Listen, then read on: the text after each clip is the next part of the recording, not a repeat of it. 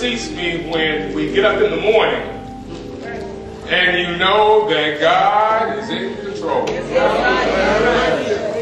It never ceases me when you know that starting from the time you leave out of your house and you pull up in this church parking lot and you go to your designated areas and you start watching God just does what he do. And that's that overflow of his spirit.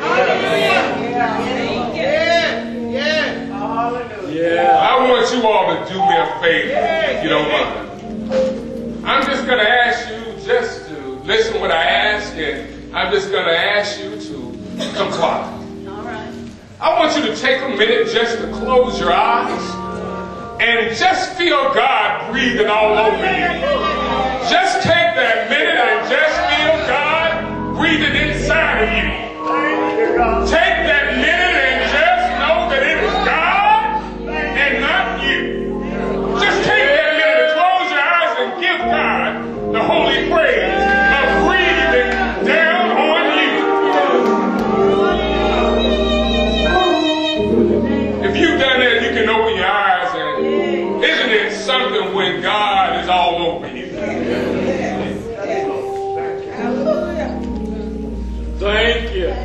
week was a week that we truly knew a charge to keep our hands and a God to glorify.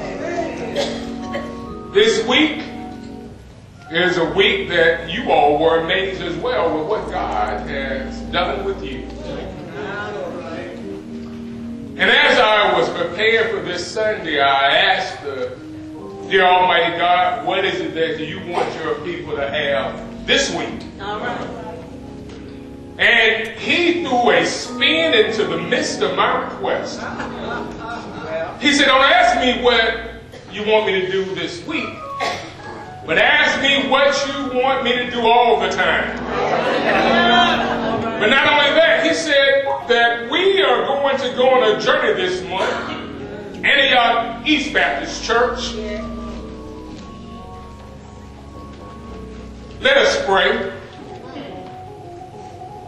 Dear Heavenly Father, breathe down on us. Dear Heavenly Father, speak through us. Dear Heavenly Father, remove us and find this one of your dwelling places. Lord, it has been asked, it has been heard. Our God, we believe this been received and done because that's just who you are. Our God. In Jesus' mighty name we pray. Amen. I'm just so excited because Brother Mason is here today.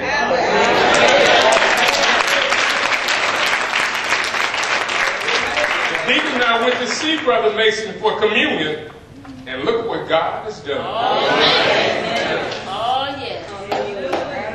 Hallelujah. Is able. See, you don't understand if the times when God is giving you the mobility and giving you the mind to do what you need to do on a daily basis. And one day you wake up and then you don't have those same abilities. Then you realize that God just give me one more day to be in my right mind. Give me one more day to walk in your favor. And when God does that, we really learn how our Almighty God. Now, I'm not going to take a lot of time up today, but I am going to praise God today. And I am going to let you know, thus saith the Lord. But before we go on, it is important for us to understand as the word is given that we comprehend the word for what the word is. Don't be like the little boy when his cousin asked him at a wedding. He said, How many times can a man marry? The little boy quickly said, 16 times. He said, You can marry a woman 16 times? You marry 16 women? He said, Yes, sir. You didn't hear the preacher? He said, For better and for worse, that's eight. Richer and for poured. That's eight. That's 16 times. A lot of times we hear God's word and we don't comprehend what God's word is really saying. All right. We know one husband and one wife. But the little boy heard for better and for worse, for richer and for poor. And he was smart enough in math to know that that equaled to 16. But this morning, the word I bring to you is clear and it's promising. And y'all, this month we're going to do something different with the sermon. This month we're going to do a series in our sermon. This month, and even if I give you the word, I'm going to tell you what it's going to be.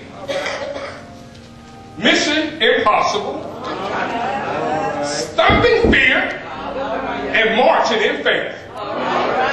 That's going to be our series for this month. We're going to do the mission impossible. We're going to stop fear all out of us. Only in the name of Jesus. And we're going to start marching in our faith. That's for this month.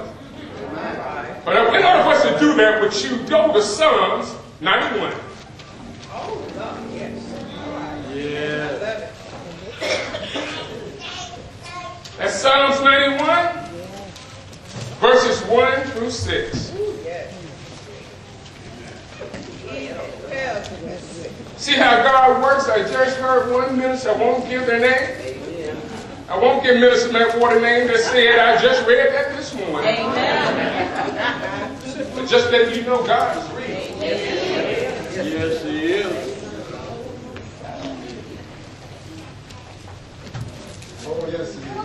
Psalms 91, verse 1 through 6 reads, He that dwelleth in the secret place of the Most High Yeah. shall abide under the shadow of the Almighty. I will say of the Lord, He is my refuge and my fortress, my God. In Him will I trust. Surely He shall deliver thee from the snare of the fowler and from the noisome of pestilence. He shall cover thee with His feathers, and under His wings shalt thou trust. His truth shall be thy shield and buckler.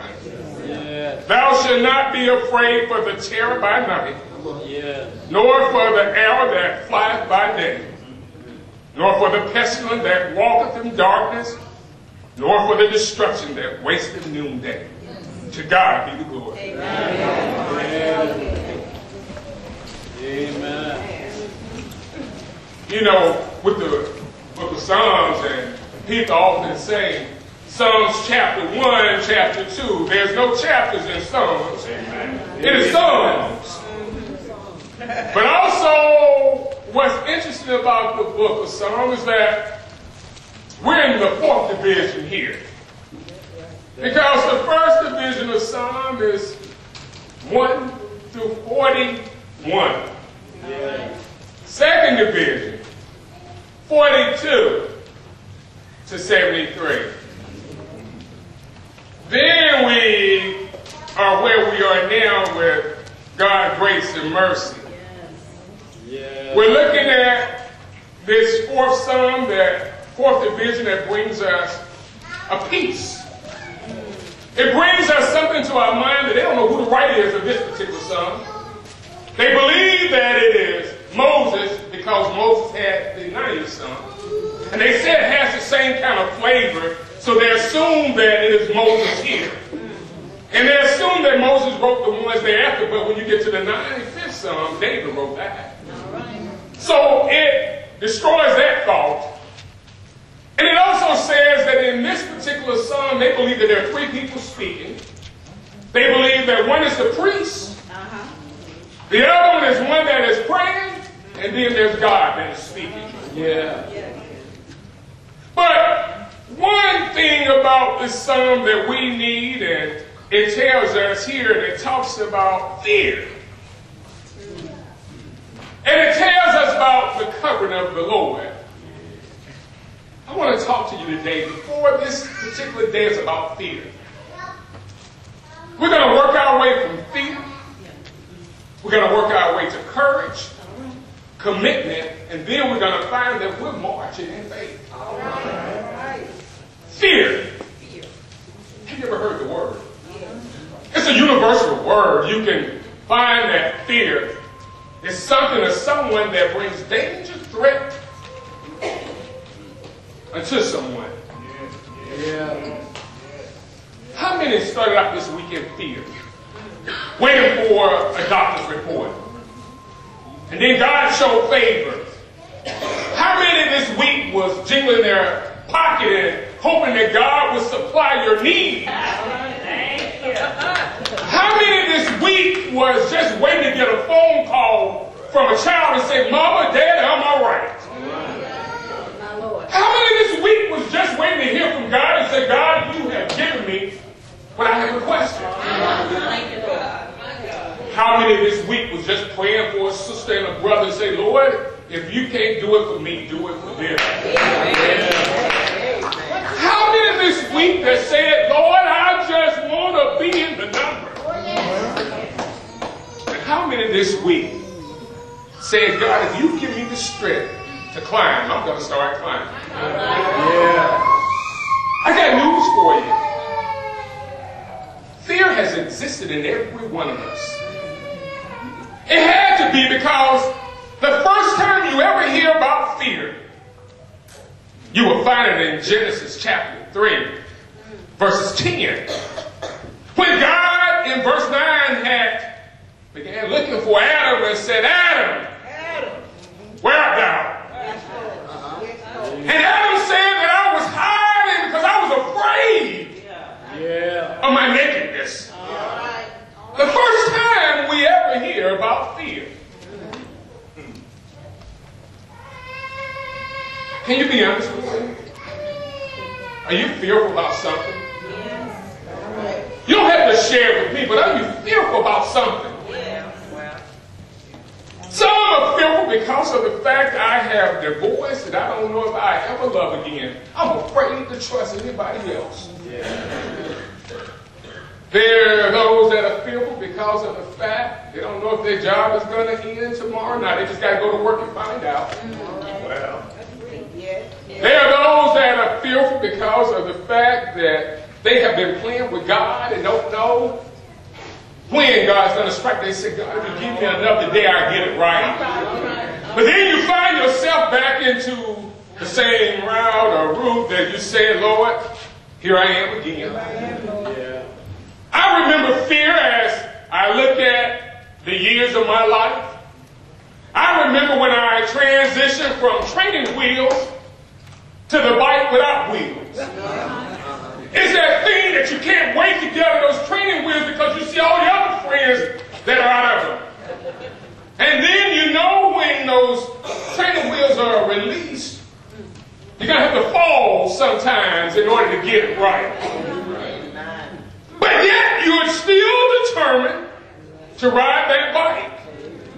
But there's a little fear. It is said too with babies, in order to make sure they have no fear about swimming, start when they're young, throw them in the pool and watch them how quickly they adapt. You throw someone like me that, even though I swim, that if I didn't, you throw me in the water, there's a panic attack because of the fact I can relate. That's danger. There's fear in you because of the fact that it just exists.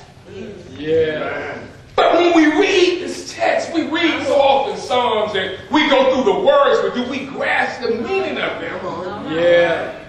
Do you know when they talk about pestilence, they're talking about diseases? Do you know when they talk about the noisome pestilence, they're talking about this thing that annoys you, not noise, but sends off its smell. You know, fear brings about a smell too. Yeah. You say, what does it smell like? Better yet, we can tell you what it feels like. Fear causes your mind to run places where it shouldn't go. Fear tests you in the waters that you've never treaded before. But there are a couple of things I want to talk to you in reference to fear. Three points. Fear is real. Make no doubt about it. It's real. Also, fear contaminates the mind. the body, the soul. And the last thing I want to talk with you about is that fear has to be stopped All right. to spring into your greatness. How many of you all know in God's house that we Antioch East Baptist Church members, we have a beautiful church, Yes. beautiful hearts in this church. Mm-hmm. Yeah. How many of you are using the talents that God has given you to this fullest? All right. Or how many of you are holding back because of the fact, out of sight, out of mind, and just do a little enough, just enough for God to just say you're working in the church? But how many of you all are giving what God truly has blessed you with? Fear is real because fear causes you to be depressed. Amen. Fear causes you to be isolated. Fear causes you to tiptoe into a situation. Fear also causes you to be shackled of your greatness. I wonder when Sister Connie came to that mighty, and she began to sing at that mic and how she got into the spirit and the choir joined her and so did we. And she's saying to herself, okay, let me get this note right. Make sure I go to the level I'm supposed to go to. Make sure we come in with the right timing. When you ask to do a particular task, how many of you all talk to yourselves before you even start the task? How many of you talk yourself out of something instead of talking yourself into something? Yeah. How many of us find reasons for everything else but? Who's afraid right now? Who's afraid because of the fact we don't know when God is coming back? Who's afraid that when He comes back, you're not ready? Who's afraid with Antioch East with what God is doing with us? Afraid that if we step forward, we just might fall. Come on. Who knows that fear is real? I'm watching uh, media and I'm seeing that it's giving us all the precaution about when you go into the gas pumps. How many are more fearful now when you go to the gas pump, you're scanning, or, or so many husbands will tell their wife, don't worry about it, baby, I have it, I will fill your tank up. All right. Amen. And those that are without spouses or significant others, what do you do when you get to your destination? Are you scanning everything around you because you're so fearful? Because we see so much in the news today. In our scripture lesson today, we find that in our fears, we must acknowledge our truth. Yes.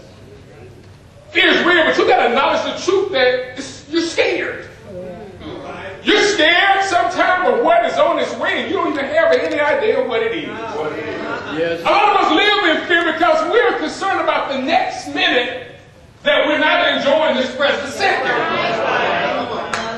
We must face our truth and realize that at times, Lord, when I don't depend on you mm. and taking care of those fears, I depend on myself. And I take it out of your hands. We all have had those Peter moments.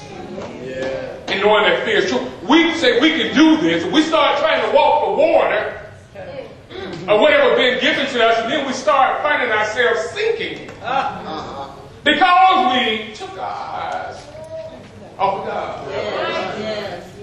You had a Peter moment. You had those moments of doubt.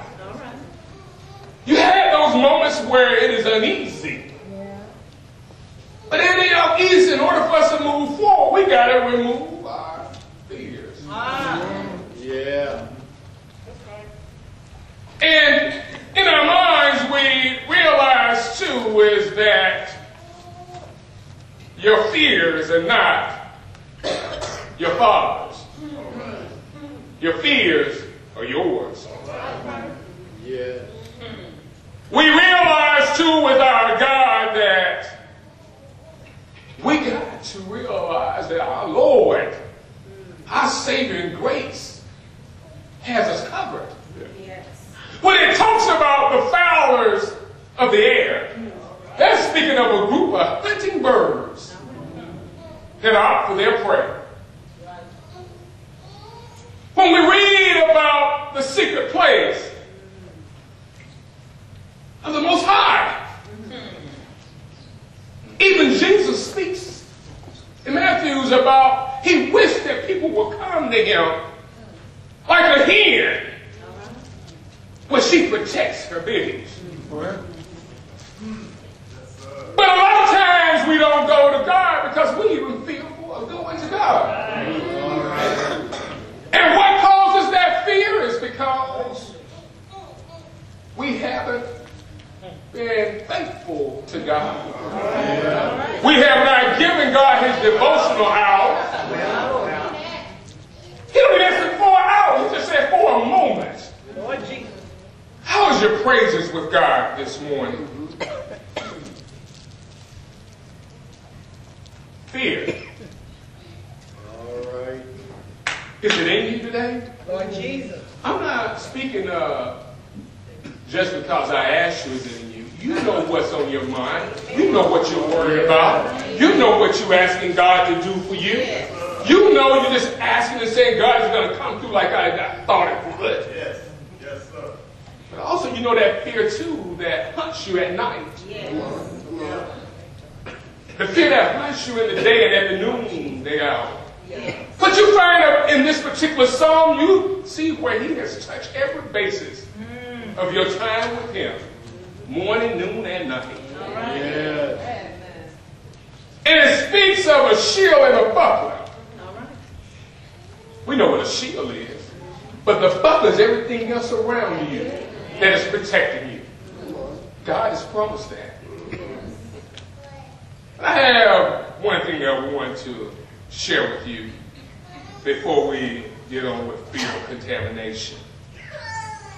And in 2 Kings 6 and 16, we remember Elijah with the Syrians and when they were coming to destroy Israel. And it was Elijah that prayed and asked God to help. It was him that said, Please, Lord, help us. Whatever Elijah asked, God did. Yes, he did. Yes. He asked for them to see. They saw chariots and horses more than that was coming their way. Yeah. He said, God, can you make them blind? They became blind. Because he had enough faith. But he was also a man and he did fear to a certain extent, but he knew who to go to. Yeah. Who do you go to when you're scared? We're gonna have to stop this devil up out of here. I said we got devil, and that's what we know the devil's lurking out here. Because he sees that Antioch is living. He sees that when you come out of that door, he's just sitting on the bench waiting. In the midst of something. In the midst of all of us, he's out there. Yes, he is. But how do you handle dealing with him? Yes. The word tells us too, and he answered, Fear not, You're not right. for they be with us are more than they that be with them. Yes. But it doesn't, I don't care what it looks like, he got us. He got us with the greatness that he's getting ready to do with us. Deacon Matt said we can be greater. Mm. And we are greater because we're heathens. That's right. But then I think about how fear can contaminate us. Yeah. You know when you go to the doctor and they tell you to change your diet because it's affecting your glucose. Change your diet because of the hypertension. Change your diet because of potential cancer cells.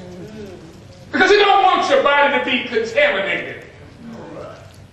But one thing we have to remember is that if our faith is contaminated, it affects our body, It affects our mind, and it affects our spirit. Don't let the devil rob you of your joy with the Lord. Don't let him contaminate your mind to where you're not able to go forward because you're afraid because you said we can't do it. But. Apostle Paul said, I can do all things through Yeah. Christ which strengthens me. That fear would come in and it would nestle in a place and it'll start festering throughout you. It would change your attitude toward people. It would even change your attitude toward yourself. Hallelujah. Yeah. It would get inside of that body. That heart palpitation would be going so fast. Every time you turn around, you're worried. That's called fear. It would get in the spirit where you once knew love. You'll be too afraid to love anybody. Because you'll feel like everybody's out to get you. But we're God's children. Yeah. We believe in the Almighty God. Fear, it says also, we know, idle mind is the devil's. Ask David. Ask David when he was supposed to be on the battlefield. All right. And David was somewhere he had no business being on that day. And decided to go out up on, on the top of the roof. Uh-huh. And he started scanning the area to see what was up. And his eyes stopped in one particular area. His eyes stopped in one particular area. And when it stopped and he looked around and he saw something that he had to have. See, the devil started getting busy.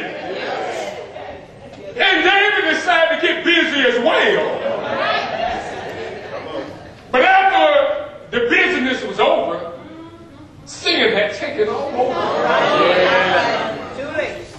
But then David began to become fearful because he knew what he had done was wrong. Yes. He began praying and doing everything else. And you know he had to be reminded by a prophet by going in somebody else's vineyard. Yeah. And he said, wherever that is, they should be killed. And he reminded him, I'm talking to you. All of a sudden, David got fear. Because of the fact here to become between him and God. Yeah. In our lives, we find too, if we're not careful, our fear will cause us to misstep. And what I mean by that, we will get in a situation that we got to pay the cost. Ask Abraham when Abraham lied not only once, but twice about Sarah being his sister. Because he was trying to save his own life. And he had to wrestle with that where we either got to step up or sit down. We either got to make up our mind that we're going to stand strong Yes, yes. We're going to let fear take away the blessing that God is trying to give us. We're going to find ourselves in a place where we're going to say, God, you forgot all about me. He's going to remind us that no, you forgot to depend on me. When we start dependence, God starts delivering. But this fear that we have right now is the fear of human nature. We got to realize that everything that is before us Yes, are always in God's hand and always it's beyond our understanding. The only thing we got to realize is that we got to invest ourselves in the Lord. A fearful man or a fearful woman won't know if they're coming or going. They sometimes won't even know that they're here. But is it not the word that tells us in the great book of 2 Timothy 1 and 7? God has not given us a spirit of fear, but of power, love, and a sound mind. It didn't say that for you have given us. It doesn't say that I have given you. It says, for God has not given us. Yeah. What God given, no man can take it away. Thank you, Lord. This morning, as we concentrate on Matthew's the 10th chapter, verse 28, and it says, Fear not Yes, Lord. them which kill the body, All right. That's Yeah. but are able to kill the soul. Yeah. But rather fear him which is able to destroy both the body and the soul. And it lives with this in hell. Who can destroy your faith? All right. Yes. Who can destroy your spirit? Who can destroy you? All right. Yes. You say Satan can, but he can only do it if you give it to him. He can only do what you allow him to do in your life. I'm not saying he won't disrupt it. But you're the one that can allow him to corrupt it. Yeah. You're the only one that can allow him to corrupt who you are. Yes, sir. We got to stop this fear out of us. We as a church body are standing on God's promise. All right. We as a church body are believing in God's mighty word. Yeah. Yes, Lord. I want to share someone with you about faith. In the martyr, the voices of the martyr, which I received, and I read the issue for March of 2017. Yes.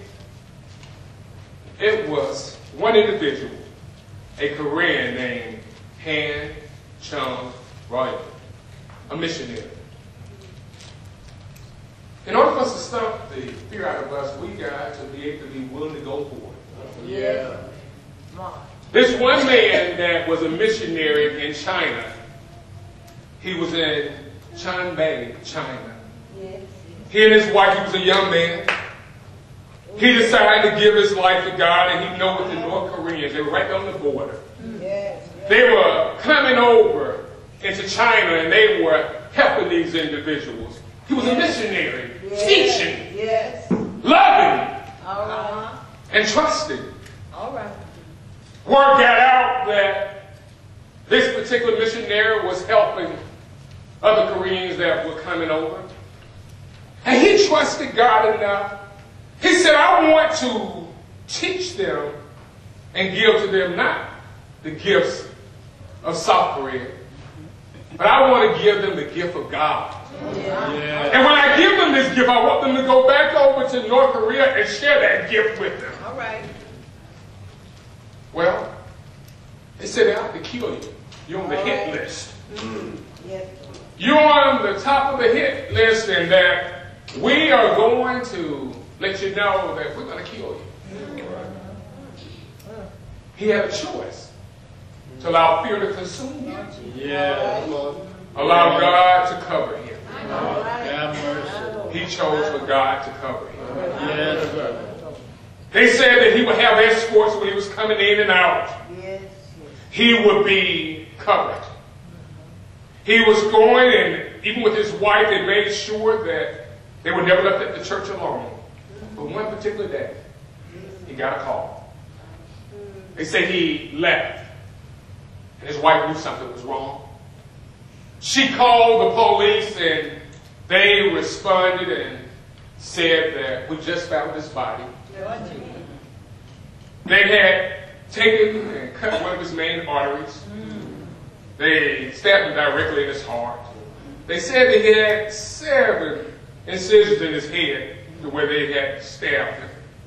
And they said that was basically the MO for the North Korean spies. Apparently, he had gave someone the word of the Lord, and in return, they gave him something. But he did not allow for that to consume him.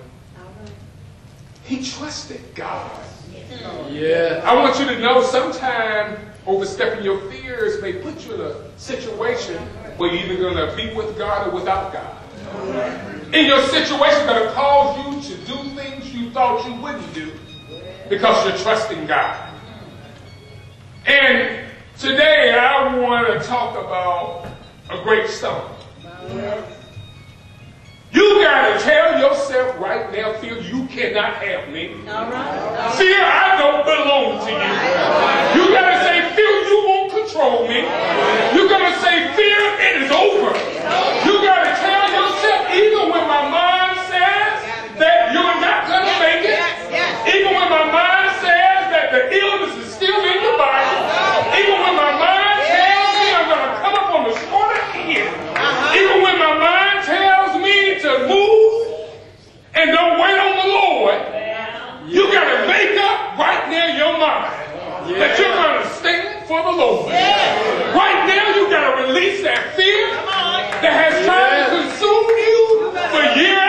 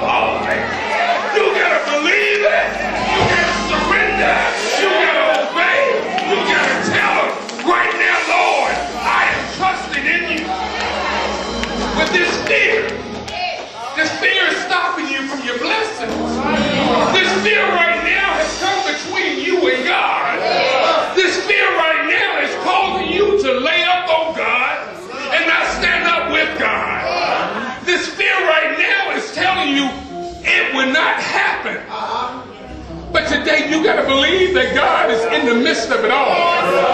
You gotta believe that you can go to that secret place and it says his feathers, feathers will cover you. That means when the storms come, you're covered. That means when people talk about you, you're covered. That means when everybody got their foot out for you to trip, you're covered. And this fear that we have, we're stomping on it right now. There's no mission that's impossible for the Lord.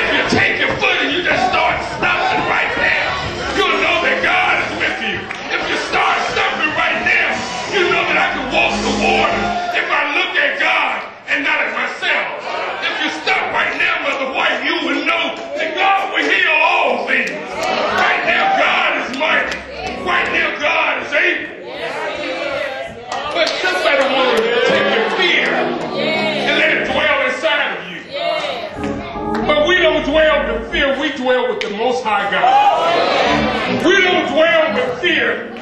We call him the high name of all high names. That's the name of Jesus.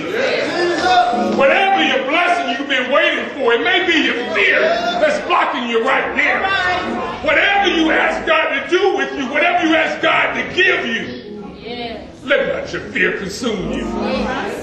Yes, sir. We got to get through the fear before we can get to the courage and the commitment. And then we can start marching around with our faith.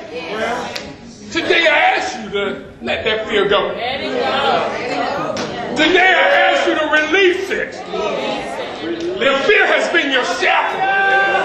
The fear has been your cage. The fear has been the barrier that has caused you for not to get your breakthrough. I can tell you that God can give you all the money you want. I can tell you have the houses on top of the hill. Ah, well, But I can't.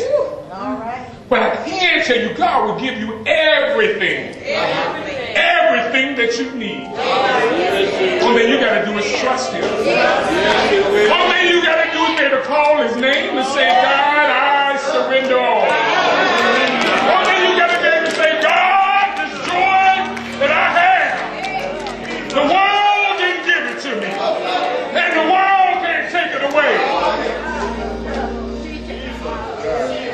remember one thing. Yes. Our God said, Peace I leave with you. My peace I give to you. Not that the world that gives to you, that I give, Right. but He tells us, do not let your heart be troubled. And let it not fear as well. Don't fear God, but fear God.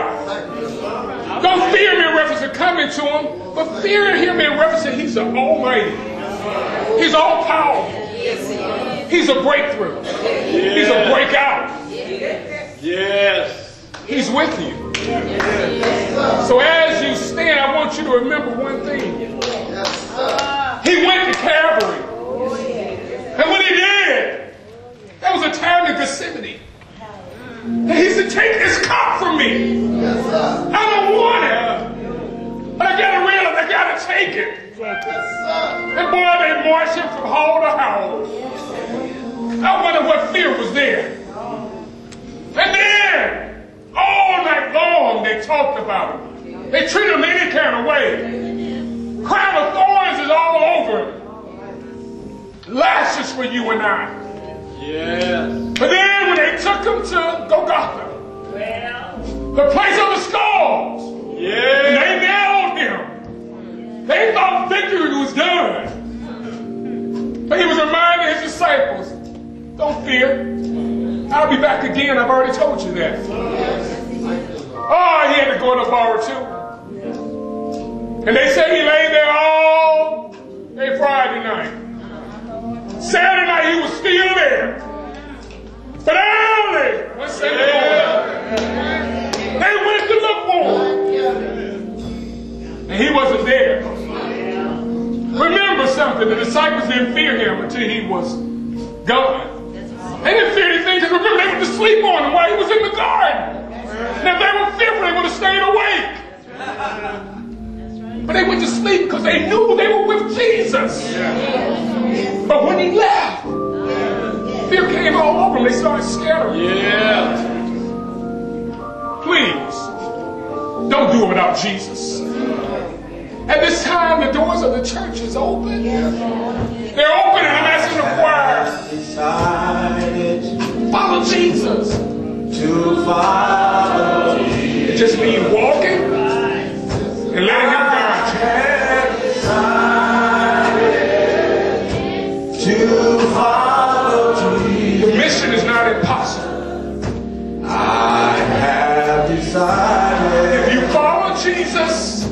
to follow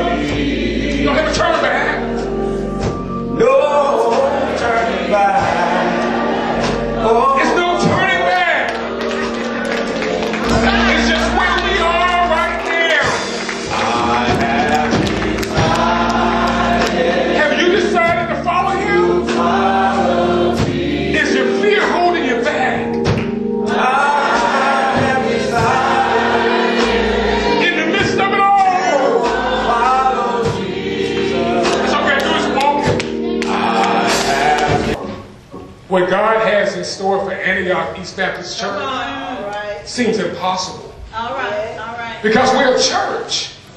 And in today's time, we're finding more and more that are straying away from the church. But Antioch East Baptist Church, get ready for the mission impossible. Get ready because today we start fear out of us. Don't come to me next week and tell me you're afraid because God is with us.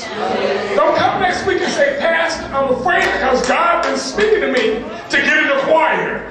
Don't come to me and say you're afraid because God has told you to take a stand with the ushers. Right. Just trust him. Yes. Yes. Hold him Yes. as he holds you.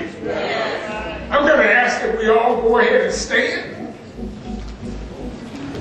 It is a blessing. It's a blessing to call on God's name. I know there are many that got on uh, heels, and there are those that probably say, I have a sore foot. If you got a sore foot, please don't do what I asked you to do. But I'm going to ask you one time, just one time. Uh-huh. And when you're going to do this now, don't try to be one that is so athletic that you can do this without a problem. I just want the devil to hear us when I say on the count of three.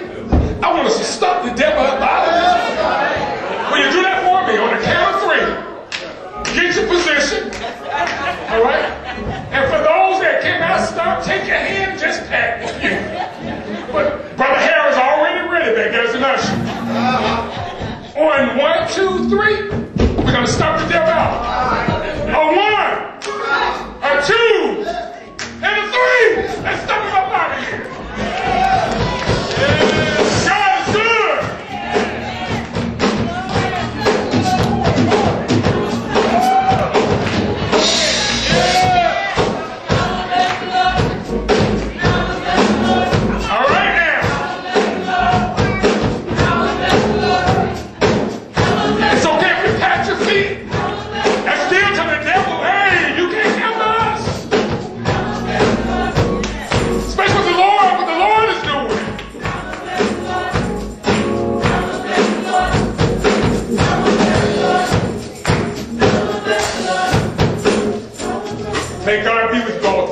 We would love to see you on Wednesday night Bible study. We know daylight saving. We're going to have longer daylight. For those that can come out, we look forward to seeing you. And for those that are not able to come out on Wednesday, Thursday afternoon, well, Thursday, 11 o'clock, here with our very own Pastor J.E. Howard. You can come out for Thursday. We'll love to see you on Wednesdays as well. Let us say, Lord, please be with us. We will bless you at all times. And as it says, finally, farewell, my brothers. Be of good courage. Be of a sound mind and be of good comfort. And may the God of love and peace be with you all. In Jesus' name. In Jesus' name. In Jesus' name. Amen.